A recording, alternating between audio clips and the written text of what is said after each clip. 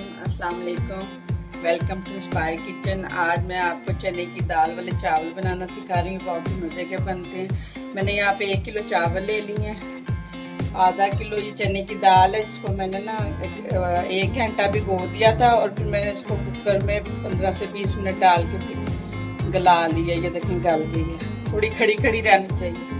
ٹماٹر لے میں نے کاٹ لی ہے. یہ دو میڈیم پیاز دیے تھے. اس کو میں نے براؤن کر لیا ہے. ون ٹیبل اسپون لہسن ادرک کا پیسٹ جائے گا ٹو ففٹی گرام اس میں آئل جائے گا یہ کٹی لال مرچ ہے اور یہ پسی لال مرچ یہ دونوں ٹو ٹیبل اسپون ہے ٹو ٹیبل اسپون نمک جائے گا ہلدی اس میں تھوڑی سی زیادہ جائے گی ون ٹی اسپون بھونا کٹا زیرہ جائے گا ون ٹیبل اسپون ہری مرچوں جائیں گی تین سے چار عدد میں نے اس کو چاپ کر لیا اسی کا فلیور زیادہ آئے گا ون ٹی ٹیبل اسپون میں نے گرم مسالہ لیا یہ ثابت گرم مسالہ ہے دار چینی کے دو تین ٹکڑے ہیں بڑی الائچی پانچ چھ لونگ ہیں پندرہ پیس کالی مرچ ثابت اور ون ٹیبل اسپون سفید زیرہ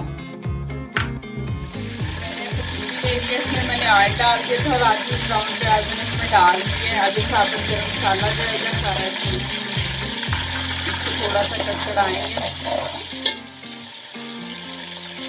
اس کے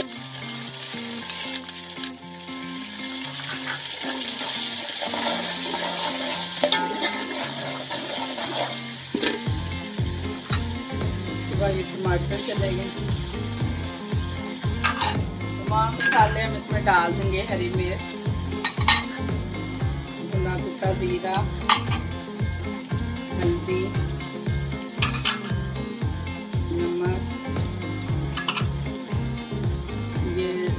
لال مرچ اور پسی لال مرچ دونوں جائیں گے اب ہم اس کا ایک مسالہ اچھا سا تیار کر لیں گے اس میں میں تھوڑا سا پانی ڈالوں گی تاکہ ہمارا مسالہ جو ہے وہ جلے۔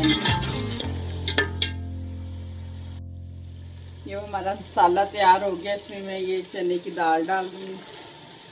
چنے کی دال میں میں نے دو گلاس پانی ڈال کے اس کو پندرہ منٹ کوکر لگا دیا تھا، تو یہ یہ دیکھیں کھڑی کھڑی سی پکی ہے۔ اب ہم اس کو مکس کریں گے اور اس کے اندر میں تین گلاس پانی ڈال کے ابال آنے تک اس کو پکا۔ یہ ہماری دال مسالے کے ساتھ فرائی ہو گئی ہے، یہ دیکھیں۔ اب میں اس میں تین گلاس پانی ڈال دوں۔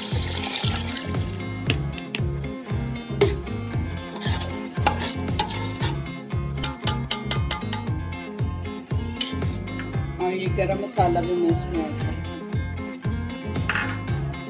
اب میں اس کو ابال آنے تک جب ابالا آ جائے گا تو میں اس کے اندر چاول ایڈ کروں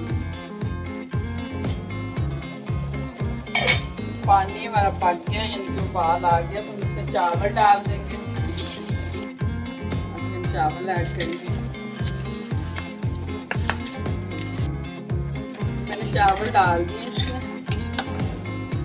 اب اس کو چاولوں کو میں نے بیس منٹ پہلے دھویا۔ اور یہ چاولوں کو جب یہ پانی آدھا رہ جائے گا تو پھر میں آپ کو بتاتی ہوں ہمارے چاولوں کا پانی خشک ہو گیا۔ اس کو میں نے بیچ میں ایک سے دو دفعہ ہلایا بھی تھا۔ میں چلا دیا تھا تاکہ اچھی طرح میں نے تھوڑا سا اس میں ہاف ٹی اسپون اور ڈالا تھا۔ اب ہم اس کو دم دیں گے۔ اس کے اوپر یہ ہم نے جو پیاز براؤن کی تھی وہ ڈال دیں اور کچھ بھی نہیں اس میں جائے اور اس کو میں پندرہ منٹ کے لیے دم دوں گی۔ بند کر دیا۔ یہ ہو۔ جو دم لگایا تھا، پندرہ منٹ میں نے چاولوں کو دم لگایا، یہ دیکھیں۔ ماشاء اللہ یہ چنے کی دال کے چاول آپ ضرور ٹرائی کیجیے گا۔ بہت مزے کے بنتے ہیں۔ اب ہم اس کو چنے کی دال کے چاول تیار ہیں۔ آپ اس کو رائتے کے ساتھ سرو کریں۔ امید ہے آپ کو یہ ریسیپی پسند آئے گی۔ آپ اس کو ضرور ٹرائی کیجیے گا۔ مزید ویڈیو دیکھنے کے لیے میرے چینل کو سبسکرائب کریں اور میری ویڈیوز کو لائک اور شیئر ضرور کریں۔ اللہ حافظ۔